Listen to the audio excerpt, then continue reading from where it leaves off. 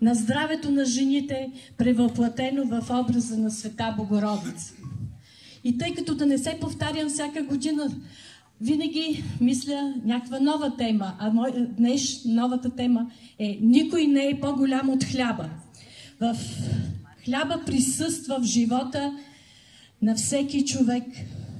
Той присъства при неговото раждане, при, неговото, а, при сватбата и по, при погребението.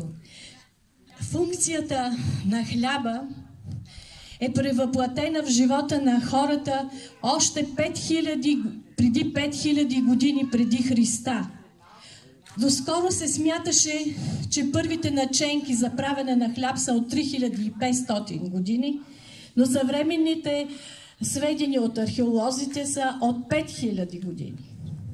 Първоначално хлябът се е правил от смляни зърна лимец на каменен хромел и разбъркани с вода се слагали да се изсу... така получената кашичка се слагала да се изсъхне върху камън или скала и от коричката образувана замесвала хляба. По-нататък хляба вече придобива ново съвършенство. Хляба се меси от жените в семейството, от младите момичета. Само при обредите, като раждане, сватба, те се месват. Хляба се замесва от момиче, което има живи родители. И с това се слага новото начало на живота. Още, за да ви оттъкчавам много за историята на хляба, искам да ви кажа, че къща без хляб означава бедност. Хляб не се подава през врата, през прага. Това също води до нещастие.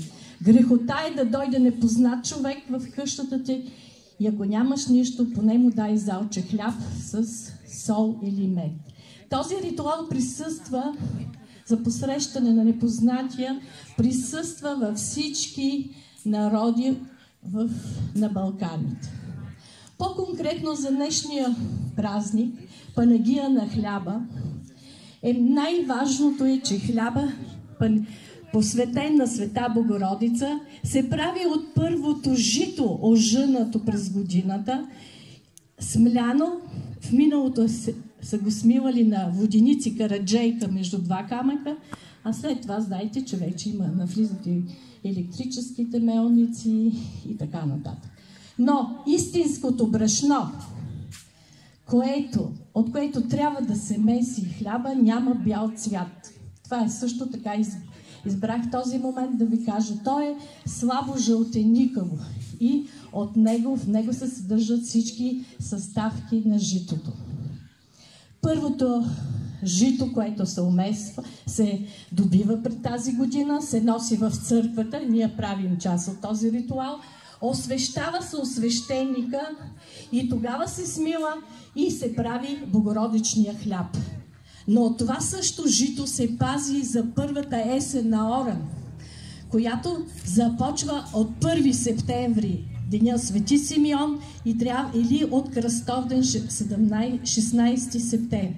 17. 14. 14, извинявайте, обърках ги с Свети Йоанн Много се извинявам. Е, как става засейването, защото много от младите не, не знаят този ритуал. Орато, сеячът тръгва рано сутрин.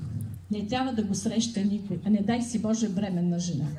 Значи, е, срещат, ако срещне по пътя си, когато отива да засее житото, човека, който го среща, трябва да е добър и да му носи късмет. Ако такъв не го срещне, той се връща и засейва показ. После забележете, че жито а, се засява или рано преди изгрев слънце, или късно след, из, след залез слънце. Сеячът е облечен, изкъпан, облечен в бяла риза, с китка на калпака. Жената е приготвила варено или печено пиле и приготвила, забележете, пресен хляб. И тук искам да добавя, че най-стария начин за приготвяне на хляба е пресния хляб. без квас и без мая. Съществува предание, че пресният хляб е, е, прави връзката между земята и небето. А за такива ритуали, както и днешния, на този пресен хляб се слага просфорния знак. Ето това, този. Слага се върху, върху хляб с квасец или с мая. Такъв знак не се слага, защото разлива се формата, когато се надигне питата. Много са интересните ритуали. Искам само да спомена от това, че такъв пресен хляб се меси при раждането на детето. Раздава се на жени само не трябва да се изнася от къщата на детето. Това се смята, а по-късно в този ритуал се смята при кръщане го прави. За да не изна... детето да е домашар и да не изнася късмета на къщата. При сватбените хлябове също се меси такъв пресен хляб. Така наречения медовина. Отгоре го, сла... го намазват с мед, за да е сладък живота на младото семейство. Този хляб се умесва най-напред при сватбените хлябове, раздава се на месачките и тогава те започват да месят типичните сватбени хлябове. При погребалните обичаи реда е малко по-обратен. Тук хляба също е пресен, но е без украса и се замесва от възрастна жена. Сега този ритуал, по-възрастни си спомнят, че се прави пита, която се дава на гробарите при изкопаване на гроб. Значи това е откъсъчено от преди. А тези ритуали не се спазват при погребение. Съжалявам, че малко разводних нещата, но мисля, че тези неща трябва да ги знаем младото поколение, защото ние си отиваме, а те остават и трябва да продължат традицията.